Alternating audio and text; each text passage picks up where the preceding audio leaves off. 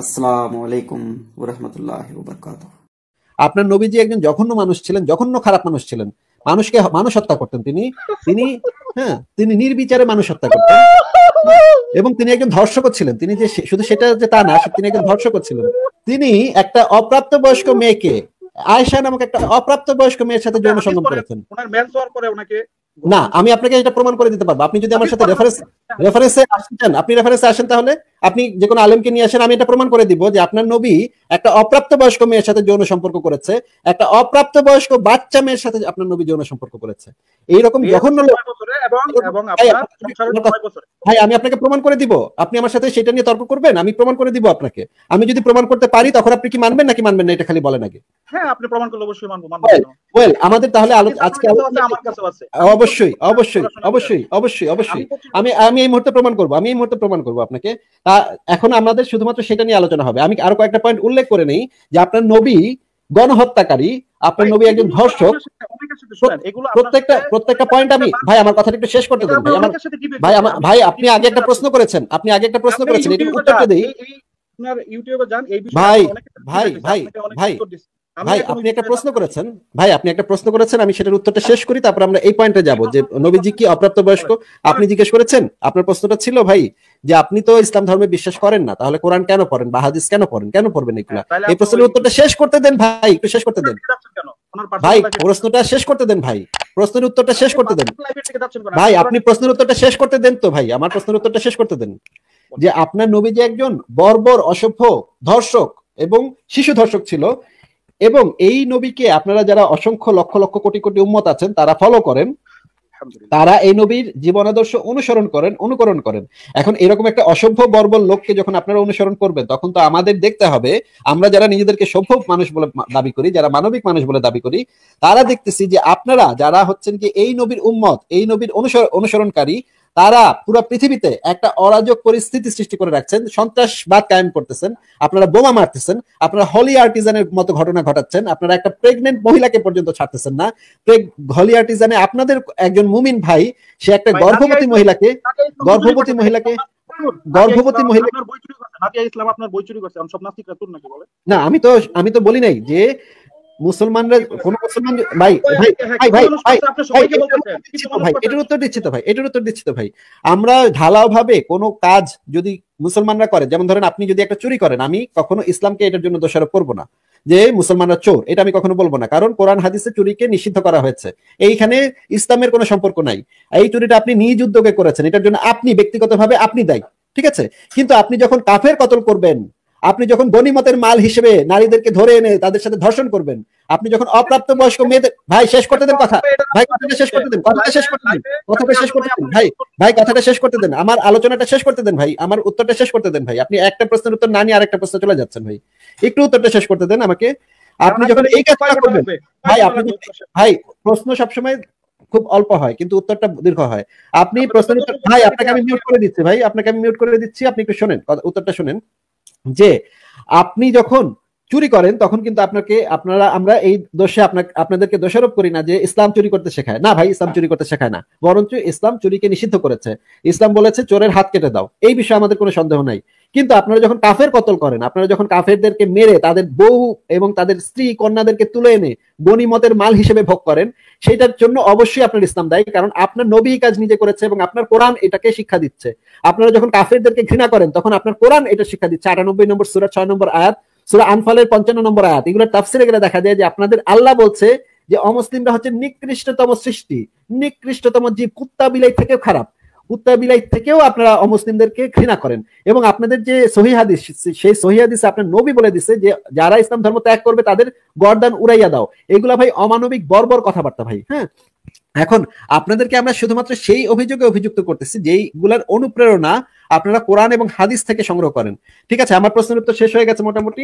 এখন আমি আপনাকে সেই জিনিসটা প্রমাণ করব যে হজরত মোহাম্মদ অপ্রাপ্ত বয়স্ক অবস্থায় আয়েশার সাথে যৌন সঙ্গম করেছিল। আমি দাবি করেছি যে আপনার নবী হজরত মোহাম্মদ অপ্রাপ্ত মানে বয়স্ক, সে তখন তিপ্পান্ন বছর বয়স ছিল, সেই বয়সে সে একটা অপ্রাপ্ত বয়স্ক মেয়ে, তার নাম ছিল আয়েশা, তার সাথে যৌন সঙ্গম করেছিল। সেই জিনিসটা আমি এখন প্রমাণ করে দিব এক এক করে। ভাই আপনাকে আমি আনমিউট করছি। আপনার কি মাঝখানে আর কিছু বলার থাকলে বলেন ভাই। আমি কি আর মানে কথা বলার সুযোগ পাবো আজকে? আর আজকে আর সুযোগ পাবো না কথা বলার? আমার মানে আত্মপক্ষ সমর্থন করার জন্য। আমাকে সময় দেওয়া হবে নাকি দেওয়া হবে না, এটা বল। হ্যাঁ তথ্য প্রমাণগুলো আমরা একটু দেখি আগে, ঠিক আছে? তথ্য, এটা আমার একটা লেখা। আয়েশা কি নয় বছর বয়সে বয়সন্ধিকালে পৌঁছেছিলেন? এইখানে দেখেন, আমি এক এক করে প্রমাণগুলো দিব। যেহেতু আমাদের সময় কম, সেহেতু আমি এক লাফে সেই প্রমাণটাতে চলে যাই। আয়েশার বয়স কত ছিল? আয়- আয়েশা ইসে পৌঁছিল, পৌঁছেছিল কিনা? তার আগে আমাদের দেখা দরকার যে একটা সহি হাদিস, মুসলিম শরীফের একটা সহি হাদিস। আয়েশা পৌঁছেছিল কিনা সেটা আমরা একটু পরে যাচ্ছি। তার আগে আমরা সহি মুসলিমের একটা সহি হাদিস দেখে নিই। এটার হাদিস নাম্বার হচ্ছে তেত্রিশশো তেতাল্লিশ। এটা যদি আপনি ইসলামিক ফাউন্ডেশন থেকে কেনেন, তাহলে এখানে লেখা আছে উপরে, পিতা কর্তৃক নাবালিকা কন্যাকে বিয়ে দেয়া বৈধ। পিতা কর্তৃক নাবালিকা কন্যাকে বিয়ে দেয়া বৈধ। এখানে বলা আছে, পরিষ্কারভাবে বলা আছে যে নাবালিকা কন্যাকে পিতা চাইলে বিয়ে দিতে পারে। এখন এটার, এখন আরেকটা জিনিস আমরা দেখি যে, আহ, সিরাতে রাসুল্লাহ সাল্লাহ আলাইসাল্লাম শহীদ আখন্দের অনুবাদ প্রথম প্রকাশনী, যেটা হচ্ছে ইবনি ইসাকের গ্রন্থ সেটা যে অনুবাদ আছে, সেখানে বলা আছে নবীজি একটা হামাগুড়ি দেয়া বাচ্চা মেয়েকে দেখেও বিবাহের ইচ্ছা পোষণ করেছিলেন। এটা আপনি পাবেন তিনশো তিপ্পান্ন নম্বর পৃষ্ঠাতে। এটা দেখে নিন তারপরে আপনি পাবেন এই এই জিনিসটা এসেও পাবেন। ইংরেজি যে বইটা আছে সেটার ভিতরে পাবেন। এখন আপনি দেখবেন যে নবী- ইয়া আয়েশা বয়সন্ধিতে পৌঁছেছিল? যৌন সঙ্গমের সময় বয়সন্ধিকালে পৌঁছেছিল নাকি পৌঁছার নাই? আমরা হাদিস হাদিসগুলো একটা একটা করে দেখি। আপনি কি দেখতে পাচ্ছেন ভাই? এটা কি যথেষ্ট বড়? হ্যাঁ, পাচ্ছি। হ্যাঁ দেখতে পাচ্ছি। আচ্ছা ঠিক আছে। এখানে বলা হচ্ছে এখানে বলা হচ্ছে তার বয়স তার সাত বছর বয়সে রসুল্লাহ সাল্লাহ সাল্লাম তাকে বিয়ে করেন। তাকে নয় বছর বয়সে তার ঘরে বধূ বেশে নেওয়া হয় এবং তার সাথে তার খেলার পুতুলগুলা ছিল। আচ্ছা ভাই আপনি একটু আগে রেফারেন্সগুলো দেখেন তারপরে হ্যাঁ, মানে বছরে দর্শনটা হয়েছে না নয় বছর এটা বলতে নয় বছরে ধর্ষণটা হয়েছে। হ্যাঁ ভাই আমি তো ছয় বছরের ধর্ষণ বলি নাই। ভাই ছয় বছরের ধর্ষণ তো আমি বলি নাই তো। ছয় বছরে আমি একবারও বলি নাই ছয় বছরের ধর্ষণ হয়েছে। আচ্ছা তাহলে আপনি এটা একটু খেয়াল বলেন আমি আমি একবারও কি বলেছি? আমি একবারও বলেছি? আমি একবারও বলেছি ছয় বছরের ধর্ষণ হয়েছে একবারও বলেছি? ঠিক আছে এটা আমার তাহলে অন্য সময় একটা এভিডেন্স বের করতে না আপনি তো আমাকে মিথ্যা আরোপ করলেন আমার উপরে মিথ্যা কথা আরোপ করলেন। আমি একবারও বলিনি ছয় বছর বয়সে ধর্ষণ হয়েছে। আপনি নয়ের মধ্যে কোনো সময় জানি না আপনি সবসময়। আমি সবসময় বলি ছয় বছর বয়সে বিয়ে করেছে এবং নয় বছর বয়সে বিয়ে কনজুমেট করেছে। আপনি তো ভাই মিথ্যা কথা বলেন কেন ভাই? এই লাইভটা শেষ হলে আমি আবার ইয়ে- ইয়ে করে দিব। আমি বলেছি একটা অপ্রাপ্ত বয়স্ক মেয়েকে ধর্ষণ করেছে আমি সেটার প্রমাণ দেখাচ্ছি। একটু দেখ একটু ধৈর্য ধরেন। আপনি- হ্যাঁ খেলার পুতুল সাথে ছিল। আমরা এখান থেকে এই হাদিসটাতে দেখলাম তার খেলার পুতুল তার সাথে ছিল। আর এরপরের হাদিসটা হচ্ছে সহিহ বুখারি ছয় হাজার একশো তিরিশ নম্বর হাদিস। তিনি বললেন রাসুল্লাহ সাল্লাহ সাল্লামের সামনে আমি পুতুল বানিয়ে খেলতাম। আমার বান্ধবীরাও আমার সাথে খেলা করতো। রাসুল্লাহ সাল্লাহ সাল্লাম ঘরে প্রবেশ করলে তারা দৌড়ে পালাতো। ঘরে মানে এটা কিন্তু রাসুলুল্লাহর ঘরে। এখানে হাদিসের যে ব্যাখ্যা সেখানে বলা আছে এটা কিন্তু রাসুলুল্লাহর ঘরে এটা কিন্তু আবু বকরের ঘর না। ঠিক আছে? তার মানে হচ্ছে এই এই হাদিসটা হচ্ছে যখন তাকে তুলে নিয়ে আসা হয়েছিল সেই সময়। নাকি ভাই? হ্যাঁ বলেন আপনি আমি আসলে আচ্ছা। এরপরে সুনান আবু দাউদ শরীফের চার হাজার আটশো উনপঞ্চাশ নম্বর আয়াতে বলা হচ্ছে। আয়সা আবার বলছেন। রেফারেন্সটা তো বইছে। এখন যদি আপনি 20টা ভাই, হাদিস বলতে যান না না না আমার তো হাদিসগুলো বলতে হবে রেফারেন্স দেখাতে হাদিসগুলো বলতে হবে। ভাই মাঝখানে মাঝখানে কথা বলেন না আপনাকে আনমিউট করে রাখছে। আপনি আমাকে রেফারেন্স একটু দেখাতে দেন তারপর আপনি কথা বলেন আপনাকে আমি সুযোগ দিব কথা বলার। হ্যাঁ, আচ্ছা ঠিক। কাপড়ের স্ত্রী পুতুল নিয়ে খেলা করা সম্পর্কে কাপড়ের কাপড়ের স্ত্রী পুতুল নিয়ে খেলা করা সম্পর্কে এখানে বলা হচ্ছে আয়সা থেকে বর্ণিত তিনি বলেন, আমি কাপড়ের তৈরি স্ত্রী পুতুল নিয়ে খেলা করতাম। তখন অন্যান্য বালিকাও উপস্থিত থাকতো। হজরত মোহাম্মদ যখন ঘরে প্রবেশ করতেন, তখন তারা চলে যেত। তার মানে এটা হচ্ছে নবীজির ঘর। এটা কিন্তু আবু বকরের ঘর না। এই বিষয়ে আমরা পরিষ্কার হয়ে গেলাম। ঠিক আছে? এই হাদিসগুলোর বইও আমি দিয়ে দিয়েছি। এখন আমরা দেখব যে এই হাদিসের ব্যাখ্যা গ্রন্থ নাসরুল বাড়িতে কি লেখা আছে? সেখানে বলা হচ্ছে, সেই সময়ে হজরত আয়েশা নাবালিকা ছিলেন। তাই তিনি, মোহাম্মদ, তাকে খেলার অনুমতি দিয়েছিলেন। কিন্তু নাবালিকা নারীদের জন্য এটা মাখরু। সাবালিকা সরি সাবালিকা বা নারীদের জন্য এটা মাখরু। এটা আপনি পাবেন, উমদাদুল কারিতে এই জিনিসটা আপনি পাবেন। এরপরে ইবনু হাজার আসকালানি, ইসলামের ইতিহাসে অন্যতম শ্রেষ্ঠ একজন স্কলার। তিনি কি বলেছেন সেটাও আমরা দেখব। এবং ফাতুহুল বাড়িতে এই বিষয়ে কি লেখা আছে সেটাও আমরা দেখব। আমরা শুরুতেই ফাতুল বাড়িতে কি লেখা আছে? ফাতুল বাড়ির নাম নিশ্চয়ই আপনি শুনেছেন। ফাতুল বাড়ি হচ্ছে কি মানে ইবনু হাজার আসকালানির লেখা অত্যন্ত গুরুত্বপূর্ণ ইসলামের ইতিহাসে অত্যন্ত গুরুত্বপূর্ণ একটা গ্রন্থ। ফাতুল বাড়ির সেই রেফারেন্সটা আমরা একটু দেখে আসি। সেই এই এই জিনিসটা আবার ইসেও আছে। আপনি যদি সুনা ডট কমে ঢোকেন সুনা ডট কমেও আছে। ঠিক আছে? ভাই সুনা ডট কমের এই হাদিসটা কি দেখা যাচ্ছে ভাই?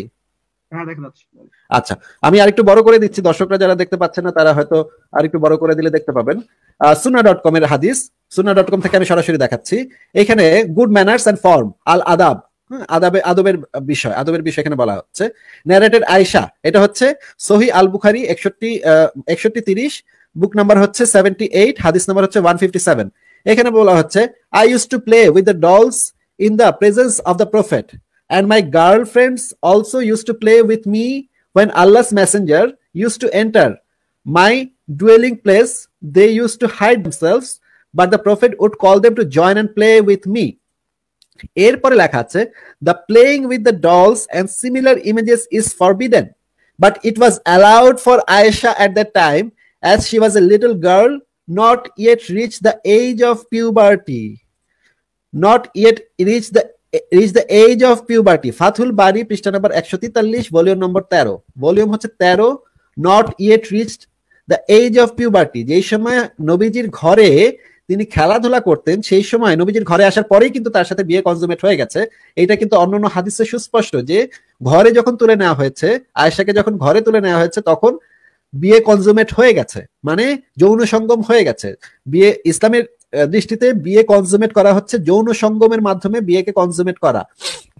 এখানে কিন্তু এই জিনিসটা পরিষ্কার যে ফাতুল বাড়িতে বলা হচ্ছে, ইবনু হাজার আসকালানি বলেছেন, যিনি ফাতুল বাড়ির ব্যাখ্যা মানে সহি বুখারির ব্যাখ্যা লিখেছেন নোটগুলা থেকে উনি ব্যাখ্যা লিখেছেন। তিনি লিখেছেন not yet reach the age of puberty এখন আমি আরও যে হাদিস ইয়াদগুলা দেখাবো, সেটা হচ্ছে, একটু অপেক্ষা করেন ইয়া দেখাচ্ছি। এইটা হচ্ছে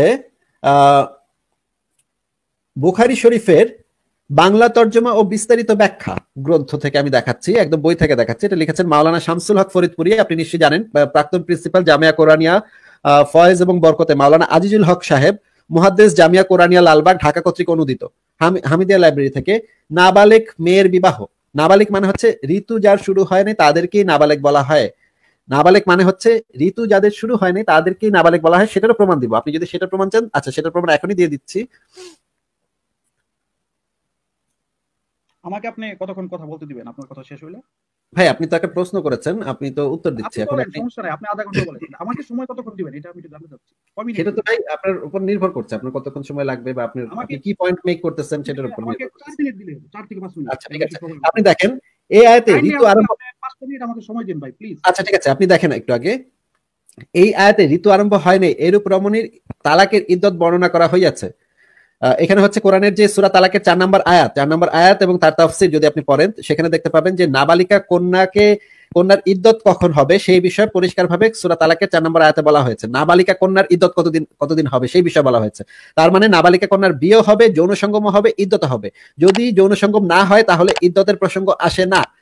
এবং এই জিনিসটা আবার সুরা নম্বর উনপঞ্চাশ সুরা নম্বর তেত্রিশের উনপঞ্চাশ নম্বর আয়াতে এই জিনিসটা আবার পরিষ্কার হয়ে গেছে। আচ্ছা আপনাকে সেই জিনিসটা আবার দেখা দিচ্ছে। আচ্ছা এখান থেকে দেখাচ্ছে, এখানে এখানে দেখলে আপনি বুঝতে পারবেন। এটা যদি আপনার কনফিউশন থাকে, তাহলে আপনি জিজ্ঞেস করেন যে এখানে কনফিউশন আছে। এই আয়াতে ঋতু আরম্ভ হয়নি, এরূপ রমণীর তালাকের ইদ্যতের বর্ণনা করা হয়েছে সুতরাং ইহা অতি সুস্পষ্ট যে তাহার বিবাহের অবকাশ রহিয়াছে, নতুবা তালাক ও উহার ইদ্যত কোথা হইতে আসিবে? নিচে বলা হয়েছে, ব্যাখ্যা, শরীয়ত অনুমোদিত বিষয়কে বেআইনি সাব্যস্ত করা এবং শরীয়তের বেআইনি বিষয়কে অনুমোদন করা ইহারি নাম তাহরিফ বা শরীয়তের বিকৃতি সাধন করা, যা ইহুদি নাসারাগণ করিয়াছিল। অপ্রাপ্তবয়স্ক ছেলে মেয়েদের বিবাহ সম্পর্কে ইমাম বোখারি কোরআন ও হাদিস দ্বারা শরীয়তের অনুমোদন প্রমাণ করিয়াছেন। ইহাকে বেআইনি করা বস্তুত শরীয়ত তথা আল্লাহ তালা কর্তৃক তাহার বান্দাদের জীবন ব্যবস্থা রূপে প্রদত্ত শাসনতন্ত্রে হস্তক্ষেপ এবং তাহার তাহারিফ বা বিকৃতি সাধন করা। যেহেতু এই অনুমোদনের উপর স্বয়ং হজরত সাল্লাহ আলাইসাল্লাম আমল করিয়াছেন, অতএব এই অনুমোদনকে দূষণীয় সাব্যস্ত করা, রাসুলের কার্যকে দূষণীয় সাব্যস্ত করা সামিল। এই যে, এই রেফারেন্সগুলো যে আমি আপনাকে দেখালাম, কোরআনের সুরা তালাকের চার নম্বর আয়াত, সুরা নম্বর তেত্রিশের উনপঞ্চাশ নম্বর আয়াত এই সহি হাদিস এবং এই সহি হাদিসের ব্যাখ্যা এবং ফাতিহুল বাড়ি থেকে সুস্পষ্ট ভাবে প্রমাণিত যে আয়েশার তখন পিউবার্টি শুরু হয় নাই এবং আপনার নবী একটা অপ্রাপ্ত বয়স্ক মেয়ে, যে মেয়েটা তখনও সম্মতি দেওয়ার বয়সে পৌঁছায় নেই। ধর্ষণের সংজ্ঞা সংজ্ঞা থেকে আমরা জানি যে কোনো মানুষের যদি সম্মতি দেওয়ার মন মানসিকতা না থাকে বা সম্মতি দেওয়ার বয়স যদি তার না থাকে, তাহলে সেই যৌন সঙ্গমকে অবশ্যই ধর্ষণ হিসেবে গণ্য করতে হবে। আবারও বলি আমি যে কোনো মানুষের যদি সম্মতি, যেমন ধরেন একটা পাগল মেয়ে, যার যে যদি সম্মতি দেয়ও, তাহলে সেই সম্মতিটাকে গ্রহণ করবে না। আদালত সেই সম্মতিটাকে গ্রহণ করবে না। সেটাকে অসম্মতি হিসেবে গ্রহণ করবে এবং সেটাকে ধর্ষণ হিসেবে গণ্য করবে। বা কোনো মেয়ে যদি না, সাবালিকা না হয়, তারপর যদি তার সাথে কোনো ধরনের যৌন সঙ্গম হয় বা যৌন আচরণ করা হয়, তাহলে সেটাকেও ধর্ষণ হিসেবে গণ্য করতে হবে। কারণ সেই মেয়েটা তখনও সাবালিকা বা বুদ্ধি মানে সম্মতি দেওয়ার মতো বয়সই তো সে তখনও পৌঁছায়নি। এই কারণে এই জিনিসটা হচ্ছে সম্পূর্ণ একটা ধর্ষণ। হ্যাঁ ভাই আমার কথা শেষ। রেফারেন্স দেখানো শেষ। আপনার যদি রেফারেন্সে কোথাও মানে ইয়া থাকে ক্রস ভেরিফাই করতে হয় তাহলে সেটা বলবেন। বলেন। আমাকে আপনি কতক্ষণ সময় দিবেন এটা আমি আপনার কাছ থেকে জানতে চাই। আমি যেমন আমি কথা বলি নাই আপনি আমাকে একটা ফিক্স টাইম দিবেন। পাঁচ মিনিট বা ছয় মিনিট বা সাত মিনিট এর মধ্যে আপনি কোনো কথা বলবেন না। আমি আমার ভাই এই ধরনের কোনো গ্যারান্টি আমি দিতে পারব না কারণ আপনার যদি আপনি যদি ভুলভাল বলেন আপনি যদি ভুলভাল বলেন আমার আমি- যদি ভুল বলে থাকি আমি যদি আমার কোনো রেফারেন্সে যদি ভুল থেকে থাকে তাহলে আপনি অবশ্যই ইন্টারাপ্ট করতে পারতেন। আপনি আমাকে বলতে পারতেন যে এই হাদিসটা তো মিথ্যা হাদিস দিচ্ছেন। আমাকে মিউট করে রাখছেন আপনি নিজে আমাকে না না আপনাকে আমি এখন এখনও এই এখন তো মিউট করে রাখিনি ভাই। আমি আগের বার মিউট করেছিলাম তখন মাঝখানে কথা বলছিলাম দেখে। সময় দেন। না না আমি আপনাকে পাঁচ মিনিট সময় পারেন। আপনাকে আমি আপনাকে আমি এক ঘণ্টা সময় দিব। এক ঘণ্টা সময় দেন আপনার যা বলার আপনি পাঁচ মিনিট পরে বলবেন। না না না, এক ঘণ্টা সময়। কিন্তু আমার যদি আপনার কথাতে যদি আমি সম্মত না হই বা আপনার কথাতে যদি আপনি ভুল বলবেন। আপনার মতটা আপনি বলবেন আপনি যদি এখন বলেন ভাই যে কোরআনে লেখা আছে অপ্রাপ্ত বয়স্ক মেয়ে বিয়ে করো না তাহলে তো আমি সেখানে আপনাকে আটকাবো। কারণ আমি বলব যে এটা কোরআনের কোন আয়াতে বলা আছে সেটা আগে দেখায় নেন তারপর আপনি আপনার পয়েন্ট মেক করেন। আপনাকে আমার লাইভে আপনি এমন কোনো ইয়া পাবেন না যে আমি পাঁচ মিনিট বা এক মিনিট বা তিরিশ সেকেন্ড কথা বলব যা ইচ্ছা বলব। এরকম কোনো কিছু আমি দিব না ভাই। সরি ঠিক আছে? আপনার যেটা কাজ হচ্ছে আপনি বলবেন আমি আপনাকে যদি মাঝখানে বলি যে ভাই এটা রেফারেন্সটা দেন। আচ্ছা ঠিক আছে আমি আমি আমার আমার স্ক্রিনে আমি আমার রেফারেন্সটা দিচ্ছি। ওকে হ্যাঁ দেন। দেন, আমি সেটা এসে নিয়ে আসতেছি। দেন।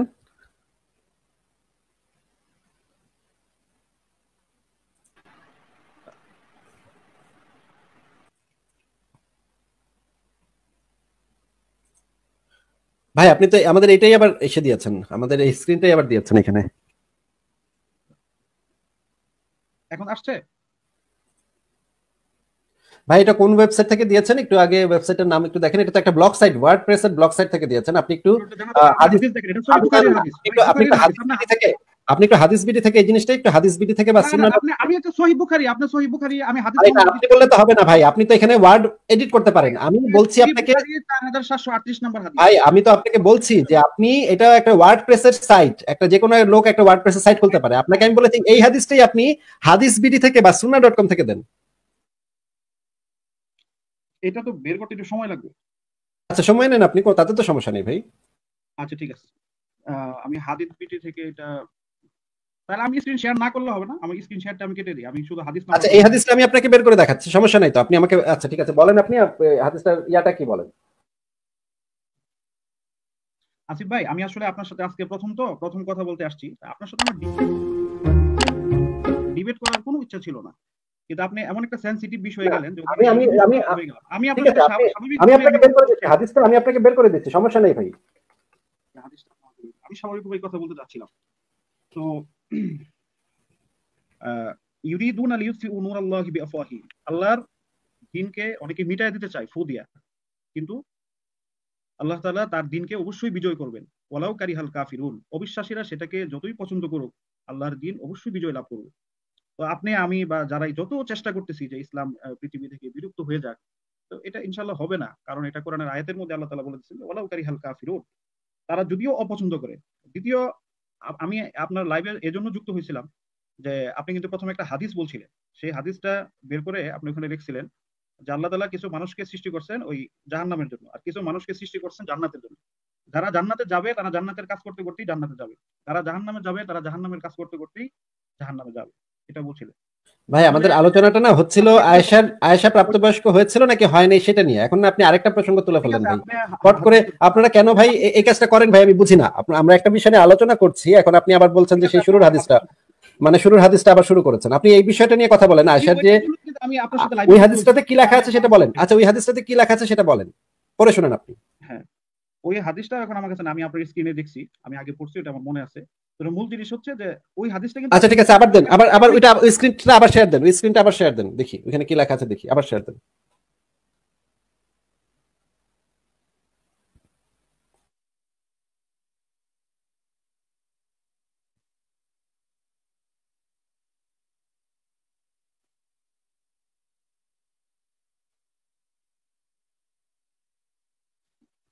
হ্যাঁ ভাই আবার শেয়ার দেন স্ক্রিনটা আমি আমি আপনাকে লিংকটা দিয়ে দিই আপনি আপনার হ্যাঁ হ্যাঁ লিঙ্কটা দিয়ে দেন ঠিক আছে ঠিক আছে লিঙ্কটা দিয়ে দেন। এই কোনো ওয়ার্ডপ্রেসের সাইট থেকে দিয়ে না ভাই আপনি একটা অথেন্টিক একটা সুন্না ডট কম বা ধরেন এই যে ইয়া সেখান থেকে দেন আপনি হাদিস বিডি থেকে দেন তাহলে ভালো হয় না?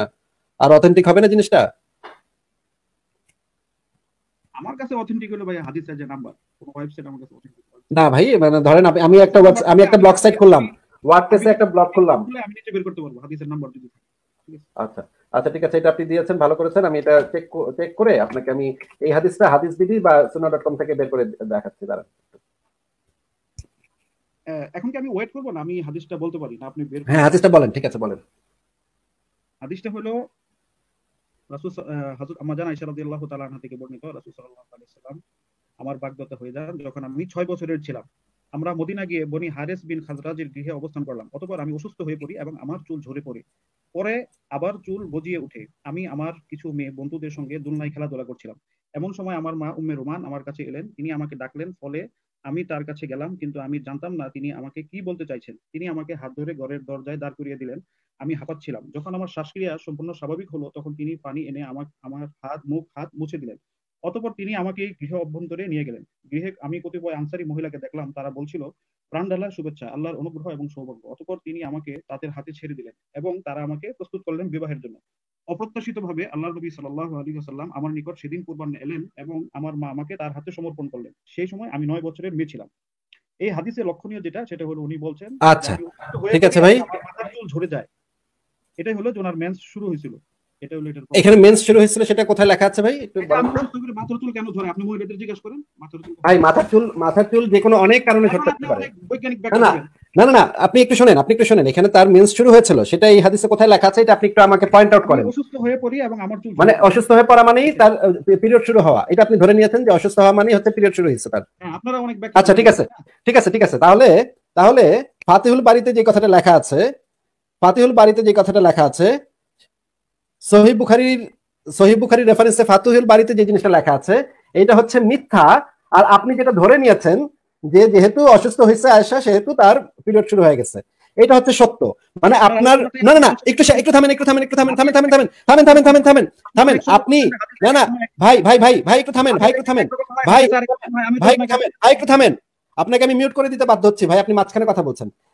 সুন্না ডট কমে ফাতিহুল বাড়ির রেফারেন্সে বলা আছে যে সেই সময়ে আয়েশার পিউবার্টি শুরু হয় নাই। এখানে স্পষ্ট বলা থাকার পরেও আপনি বুঝতে পারতেছেন এখানে তার এই যে উনি চলে গেলেন, দেখেন উনি চলে গেলেন। এখানে স্পষ্ট বলা থাকার পরেও উনি বুঝতে পারলেন যে এই এইখানে পিউবার্টি শুরু হয়েছিল। কিন্তু এখানে উনি যে হাদিসটা দিলেন, দর্শক, দেখেন আপনারা, চোর চোট্টামির একটা সীমা থাকে, চোর চোট্টামির একটা সীমা থাকে, দেখেন। চুরির একটা সীমা থাকে, দেখেন। উনি একটা হাদিস বের করছেন যেখানে আয়েশা অসুস্থ ছিলেন, ওনার চুল পড়ে গেছিল। এইটা দেখে উনি বাড়ায় ফেলছেন যেহেতু চুল পরে গেছিল, সেহেতু তার পিরিয়ড শুরু হয়ে গেছিল। চিন্তা করেন, কতখানি মানে উনি চলে গেলেন, উনি চলে গেলেন, উনি আর এখানে থাকলেন না। কত বড় ধাপ্পাবাজ, কত বড় মিথ্যাবাদী হইলে একটা লোক এরকম হইতে পারে, কত বড় মিথ্যাবাদী হইলে এরকম একটা লোক হইতে পারে, যে উনি চুল পরে দেখে বুঝতে পারলেন যে পিরিয়ড শুরু হয়ে, যেহেতু চুল পড়ছে, সেহেতু পিরিয়ড শুরু হয়ে গেছে। আর পরিষ্কার বলা থাকার পরে উনি মানতেছেন না। চিন্তা করেন চিন্তা করেন। হ্যাঁ